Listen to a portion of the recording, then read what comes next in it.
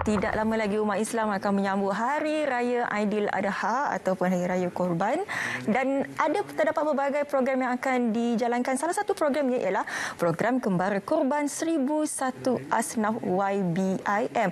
Apakah program ini? Kita nak bersama saja dengan Ustaz Syamsul Debat, Duta Yayasan Budi Ihsan Malaysia YBIM. Assalamualaikum Ustaz. Waalaikumsalam warahmatullahi wabarakatuh. Ha, sihat Ustaz ya? Baik, Syafika. Baik, baik, Alhamdulillah. Baik, Alhamdulillah. Baik, bila saya bercerita mengenai program Kembara Korban 1001 Asda YBIM, boleh Ustaz perincikan mengenai program ini? Um, Okey, kalau kita tengok eh, uh, Yayasan Budi Asam Malaysia ini merupakan hmm. satu uh, kerajaan NPO hmm. yang uh, dalam memperjuangkan uh, kebajikan golongan fakir miskin. Hmm. Tak kira siapa. Uh, tak kira uh, latar belakang uh, apa agama bangsa daya kita memang bantu semua orang baik di dalam negara maupun di luar negara uh, maknanya kita bantu dan semenjak uh, Yayasan Yayasan Malaysia ditubuhkan uh, 3 tahun lepas kita memang tak henti-henti memberikan bantuan dan sokongan kepada semua pelbagai titik itu pun antaranya adalah bantuan makanan harian, bantuan uh, bantuan kesihatan, bantuan masa tunai. Begitu juga kita ada membaiki rumah asnaf. Begitu juga ada majalah, kita terbitkan majalah seorang asnaf sebab nak share sharekan semua tentang program dan aktiviti yang kita dah buat untuk ensure dan lupa itu sampai kepada semua. Dan kita bukan kata nak jadi champion macam mana, tapi mungkin ada mana nama secara yang tertinggal, mungkin ada jabatan-jabatan lain tak boleh nak jaga, tapi kami akan tampil untuk bantu. Uh, jadi nak kurangkan uh, apa nama red tape dan sebagainya tapi kita bantu dan banyak lagi program yang kita jalankan sepanjang tahun. Mm-hmm. Dan khususnya program Kembara Korban 1001 Asraf ini bagaimana dijalankan tahun ini? Okey. Termasuklah juga program uh, Korban 1001 Asraf ini yang kita laksanakan uh, yang sekarang kita adakan itu bukan hanya laksanakan di dalam negara tapi mm-hmm. juga di luar negara yang mana kita fokus kepada negara-negara Afrika antaranya Chad, Mali, Nigeria dan banyak lagi hmm. yang mana uh, YWIM telah dilantik sebagai wakil tunggal untuk menguruskan ibadat korban di sana. Dan begitu juga pada tahun ini kelainannya adalah kita juga memberi bantuan kepada negara timur iaitu negara Timur Tengah iaitu negara Palestin. Hmm. Dan mana kita tahu kan, sekarang ni dah konflik di sana yang tak berkesudahan dah nak masuk ke 45 ke 50 hari dah masih lagi belum selesai. Jadi ini hmm. adalah sumbangan kita hmm. nak bantu mereka supaya mereka tidak rasa tertinggal pada hari Aidil Adha. Hmm. Baik Ustaz, kita tahu ada banyak lagi syarikat di luar sana yang menjalankan program seperti ini. Tapi kenapakah perlu kita memilih YBIM? Okey, sebab YBIM ni simple. Yang pertamanya dia trusted. Boleh dipercayai. Sebab kita satu-satunya penganjuran korban yang mendapat pensijilan ISO 9001 2015. Dan begitu juga daripada aspek kelancarannya, teratur, tak ada senaran nama tertinggal dan kemudian kita siap dengan receipt dan kemudian dengan sijil penyertaan sebab kita nak make sure tak nak nanti ada engki-pengki ada eh ni mana bukti apa semua tak ada dan hmm. begitu juga kita buat ni secara telus dan untuk makluman macam di negara-negara luar yang kita buat contohnya di Afrika hmm. kita ada 3,000 orang petugas yang dah bersiap sedia nak bertugas untuk melaksanakan korban di hmm. ha, itu, itu yang penting hmm. ha, jadi kita tak nak anak nanti uh, nampak macam apa duit aja ke tak tak sebab kita nak bantu. Sebab almaklumlah kan Syafiqah kita tengok bagaimana pada tahun ini beberapa negeri di Malaysia pun dah mula mengisytiharkan tak boleh melaksanakan ibadat apa tak boleh melaksanakan penyembelihan. Jadi ini ada alternatif untuk bantu eh? dan begitu juga dia cepat mudah teratur dan dia tak perlu risau dan hmm. insyaAllah dia akan berpuasan. Ya, yang paling penting sebenarnya penonton nak tahu harganya bagaimana Ustaz? Macam mana nak kira ni Ustaz?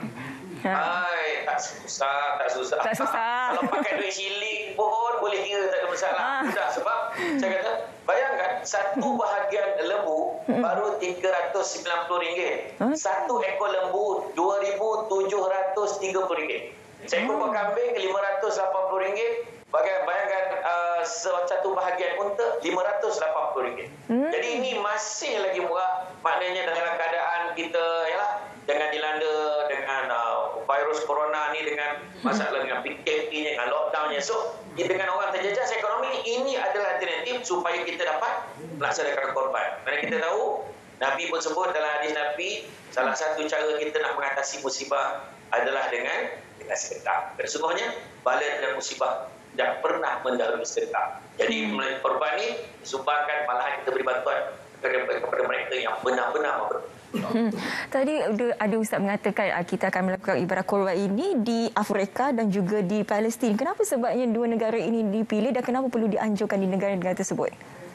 Okey, inilah ayat yang biasa orang tanya dia kata ramai lagi orang Malaysia susah. Besar sibuk bagi orang luar negara. Jadi itulah kelebihannya di Yayasan Yayasan Malaysia. Hmm. Kita bukan hanya bagi sumbangan di luar negara tetapi juga asnaf-asnaf di dalam negara tak ketinggalan yang mana dalam negara kita bekerjasama dengan GTR ni, Grup Transformasi Lumina, hmm. yang mana lembu-lembu kita dah booking dah nak bagi asnaf di Malaysia tak terdekat. Di luar negara pula, kenapa? Hmm. Ha, soalan yang Syafiqah tadi tanya ni, kenapa? Hmm. Sebab di luar negara ni, kesusahan mereka ni kalau kita cakap, susah-susah orang Malaysia, ya Allah, insya Allah daging korban sampai ke rumah. Hmm. Tetapi di luar negara ni, bayangkan contoh di Afrika, mereka pukul 12 malam, dah beratur dah malam ni, nak ambil daging korban esok. Bayangkan. Hmm. Dan dia orang ada yang makan kertas ya bukan kertas hmm. kotak tu kotak tu dia cecah air makan. Hmm. Lompak lompak yang lumpur tu dia kepal-kepal dia bakar jadi cookies, jadi biskut pada dia. Hmm. Dan air kita ingat air teh susu. Hmm. Rupanya air lompak air yang dimasak menjadi air minuman mereka. Bayangkan. Hmm. Jadi itu sebabnya bila sampai dia tiba daging korban kepada mereka ini satu rahmat yang sangat besar pada mereka dan tak dapat mereka gambarkan kata-kata. Malahan ada yang ambil dengan air mata. Bukan itu yang yang kita bantu lah. Hmm, saya suka apa yang Ustaz katakan tadi. Sesusah-susah kita sebenarnya ada lagi mereka yang lebih susah. Jadi ini merupakan peluang yang terbaik untuk anda melakukan uh, sebarang uh, kalau sukakan sedekah. Inilah waktunya sebenarnya. Tapi bagaimanakah caranya untuk kita menyertai program ini Ustaz? Okey, cara dia mudah aja iaitu kita hanya perlu hubungi talian telefon yang tertera dekat skrin tu, ha mhm. nampak? Atau tak nampak salin salin mm-hmm. ataupun kita boleh juga uh, melayari website kita di www.ybim.org.my ataupun kita boleh juga imbas QR code yang dipaparkan di skrin ada tak? Ah kalau dapat apa okey QR code tu kita imbas insya-Allah ibadah korban anda semua akan terjamin akan diberikan sijil penyertaan Malahan hmm. ketika kita menyertai ibadah korban ni pula nak bagi tahu juga kita hmm. mendapat liputan media hmm. daripada televisyen terbuka di Nigeria insyaallah. Hmm. Ha. Ah insyaallah. Tarikh akhir untuk menyertai program ini ustaz?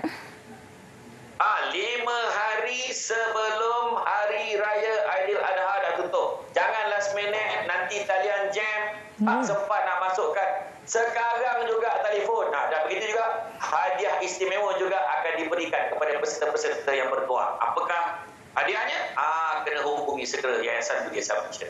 Ah, itu dia lima hari sebelum ya. Jangan pada hari kejadian baru nak daftar. Masa yeah. tu lombu pun dah tak ada, ya Ustaz. Ah, lombu dah habis. Lombu, lombu habis.